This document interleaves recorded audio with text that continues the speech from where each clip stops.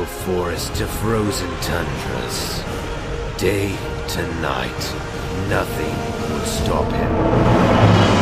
Any obstacle, no matter how dangerous, could be overcome with the right